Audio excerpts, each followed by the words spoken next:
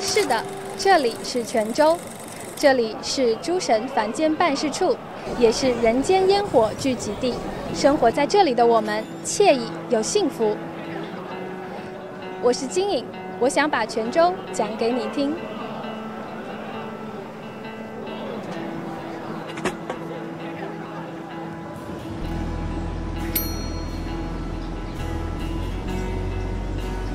我觉得生意成功之后，我最大的感受就是泉州的宝藏藏不住了。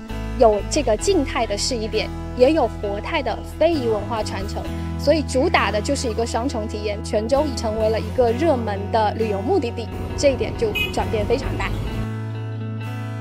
首先，这样的一个屋顶，我们从佛教寺院来看。两层，我在一九年的时候参加了古城讲解员的培训，那后来就先后有进行多次的双语的接待讲解、公益讲解等等。对我会发现，通过就是一届又一届古城讲解员的培训，会有越来越多的本地人乃至新泉州人参与到这个队伍当中。现在连我们的小白司机，他都能够很乐意的来跟这个呃乘客来分享。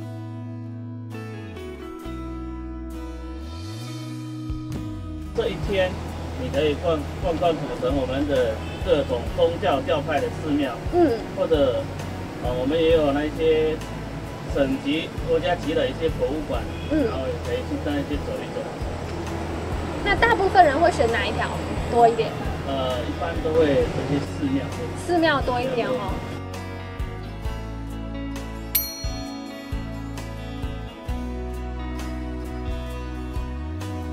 泉州的这些古迹文化，以前就这么路过了，但现在就觉得哇，它在发光，熠熠生辉。我透过文庙，我看到的是泉州千年文脉；透过这个巡捕女的这个簪花围，我能看到的其实是当年古代海上丝绸之路繁盛的海洋贸易。大家就能够通过我们身边很平常的这些呃一些细节，就开始发现了更多的亮点，所以就会点燃我们对自己家乡的一个认同和自豪感。城因人而兴，人因城而荣。那我们大家这座城，这些人心连心都凝聚在一起，是一股非常大的力量。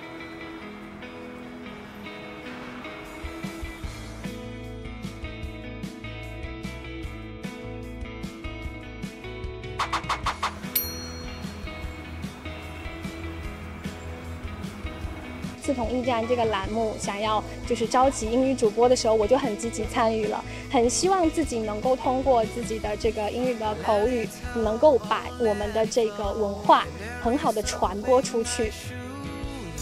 再春 fun get get fun in Chenzhou. Hello everyone, this is Janice Lin. 我是林心颖。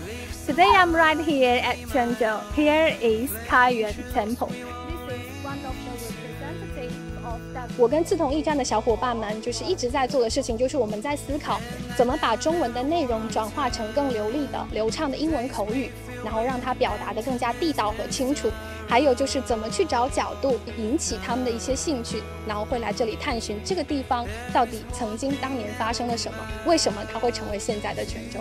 通过这样的方式，然后呢，更多的把我们的文化传播出去。从古城讲解员到 QICC 海思泉州推荐官，从在细一点接待八方来客到走出国门推介泉州，我想把最好的泉州讲给你听。是的，这里是泉州，我爱的泉州。